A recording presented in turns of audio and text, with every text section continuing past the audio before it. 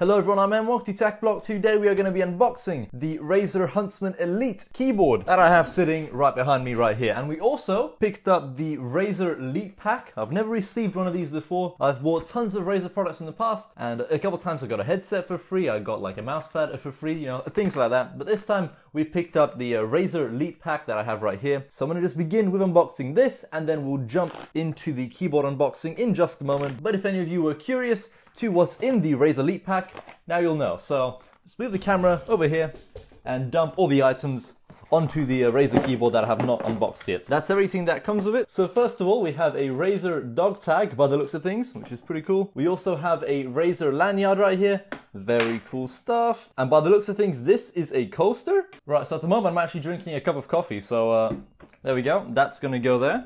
Lovely Razer coaster. We have a, what is this? This is a sticker? Yep, we have a massive Razer sticker as well. We also have this, um, some sort of keychain, I'm guessing, or does this clip onto like your jeans or something? Uh, we have a uh, get GTFO, don't interrupt an epic kill streak. Uh, we have, oh my lord, are these stickers? Oh my god, what is this? These are all stickers. Are they crazy? Look how many stickers there are. Jesus Christ, there's like 20 here. Okay, lovely. Right, so that's the Razer Elite pack right there. You get a bunch of stickers, you get a coaster by the looks of things, GTFO Gaming in Progress. Just before we unbox the Razer Huntsman Elite keyboard, I'd like to show you my current setup with my keyboard, mouse and mouse mat. So at the moment I'm using the Razer Black Widow Chroma version 2 mechanical gaming keyboard with the Razer green switches and here's a little lovely wrist rest and I'm pretty sure the new Razer Huntsman Elite keyboard also comes with this very, very soft wrist rest. And then for my mouse, I have the Razer Mamba Hyperflux mouse paired with the Firefly Hyperflux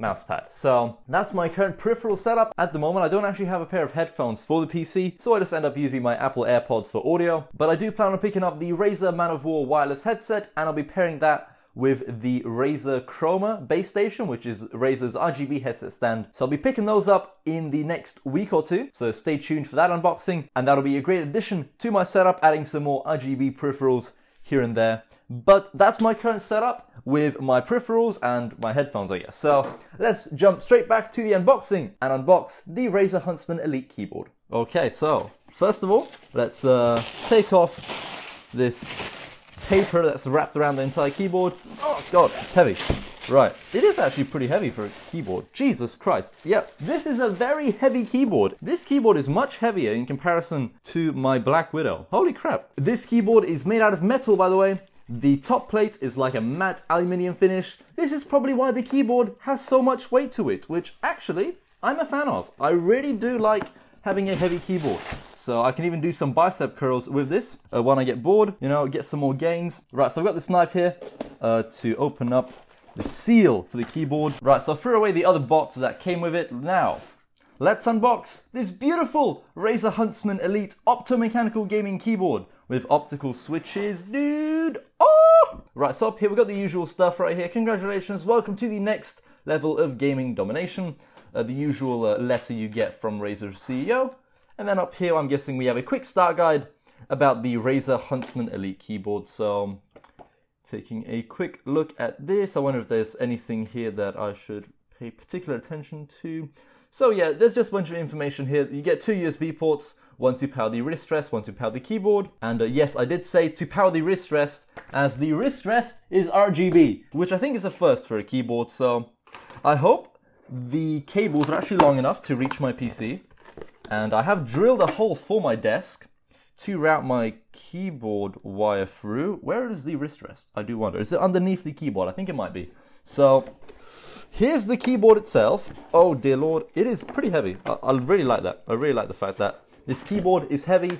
And the main selling point of this keyboard for me, it wasn't the new optical gaming switches. It wasn't the RGB wrist rest. It was the dial that's on the top right hand side of the keyboard and all the multimedia keys. Even the wrist rest itself has quite a bit of weight to it, and this keyboard also has almost no branding at all. There's no Razer logos inside. It's so simple. The only Razer branding that this keyboard really has is on the wrist rest itself, and there's a little uh, Razer logo that's like embossed into the wrist rest. That's really the only branding you have on the keyboard. Uh, so that's really cool. The keyboard itself, very, very well built. Let's do like a, a bend, bend test. No, it's very sturdy, God. Ooh, ooh, the keys, they're, ooh. Here's a little sound test for everyone.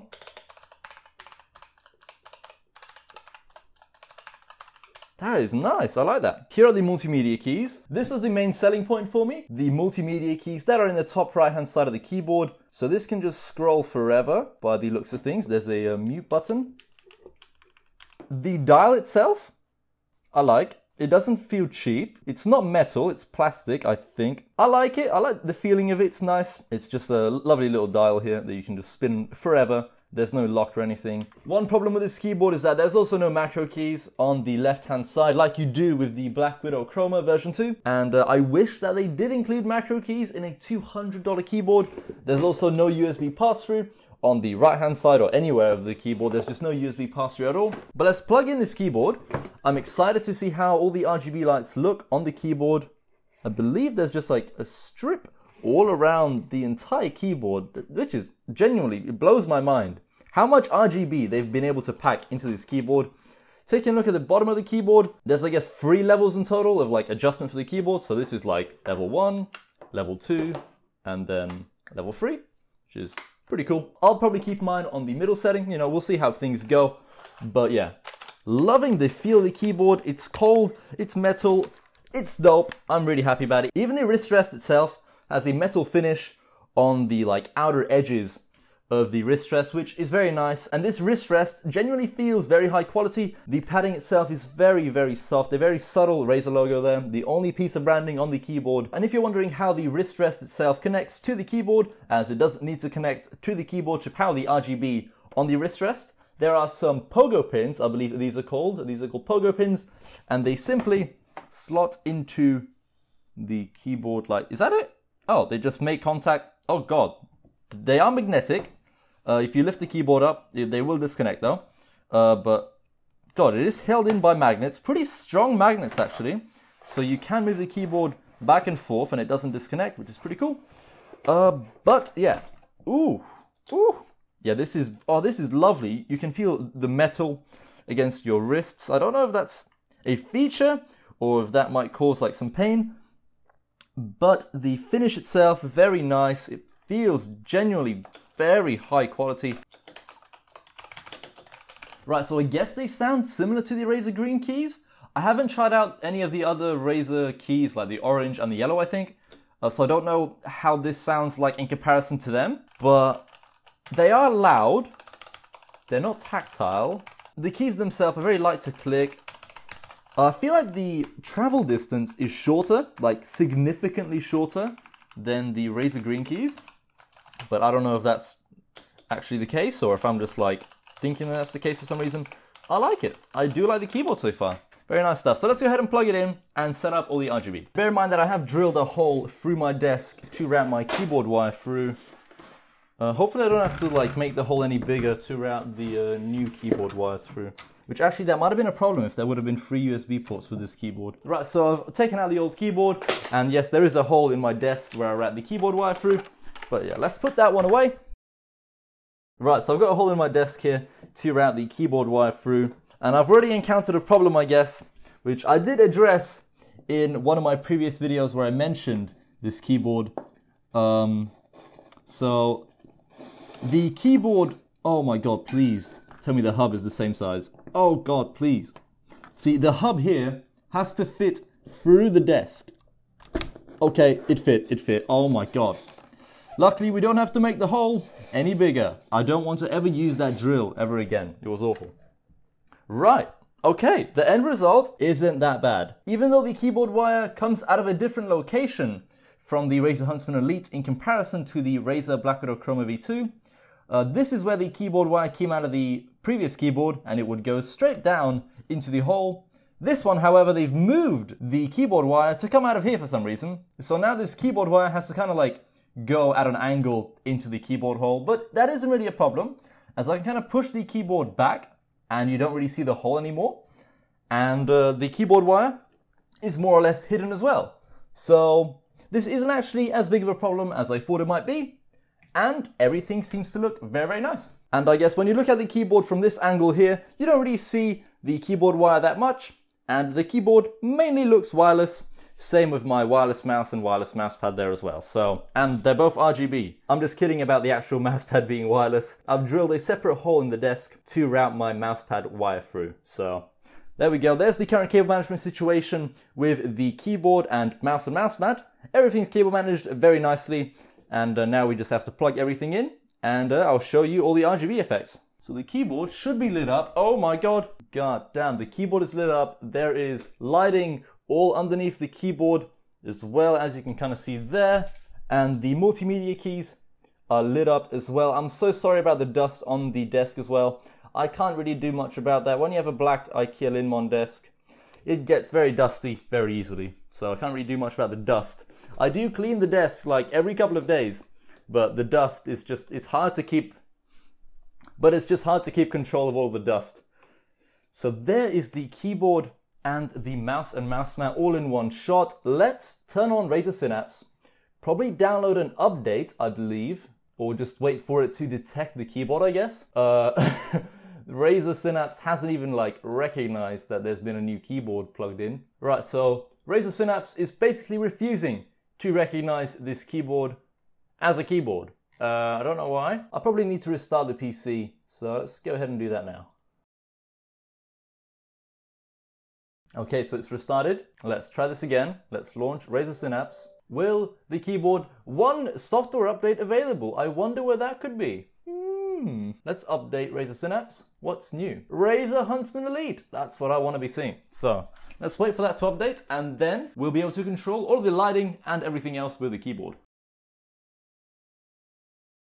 Okay, so Razer Synapse 3 has detected the Razer Huntsman Elite keyboard. As you can see, we press on it, let's configure some cool lighting options. So at the moment it's set to Spectrum Cycle. Let's set it to Wave and apply to all Chroma products. Hello? The lighting is turned off for some reason on everything now. Nice. Why why is that the case? Why is the lighting completely turned off now? I mean it did say restart, so I think we should probably maybe do that. Okay, so third time lucky, maybe? I hope so. Third time lucky, everyone. Third time lucky. So, I'm gonna press on the Huntsman keyboard. I'm Gonna press on lighting. Yeah. Quick effects. There we go. Wave is working. Ooh, God damn, that actually looks so nice. Wow, that actually does look really, really nice. Here's a quick little panning shot of all the RGB in my setup now. It looks absolutely beautiful. I'm actually very happy with the way everything looks like at the moment. Like the mouse pad's lit up, the mouse is lit up, and the keyboard itself looks really, really cool. There is RGB pretty much everywhere. It's absolutely crazy. The RGB chroma lighting on this keyboard is genuinely out of this world. It looks absolutely crazy at the moment. Also, if you of you are waiting for my review of the Razer Huntsman Elite keyboard that I have right here, so I will be working on the review video in the next couple of weeks or days to come. Uh, but apart from that, that has been the unboxing of the Razer Huntsman Elite gaming keyboard with the new Razer optomechanical switches that are optical switches, which is pretty cool. And the keyboard has a crazy amount of RGB lighting. And just before we end the video, let's see what happens when we disconnect the wrist rest. Oh, okay, the lighting is just there anyway. Never mind then, it's genuinely that seamless. And you plug it back in, and it continues on. Very, very cool stuff from Razer. We did have some technical problems connecting the keyboard and getting everything to work, but after restarting my PC two or three times, everything was okay. So luckily everything works. I can now control all the RGB lighting in the keyboard, which is very good. But that's going to be it for today's video. Thank you very much for watching and hope to see you in another one soon. Goodbye.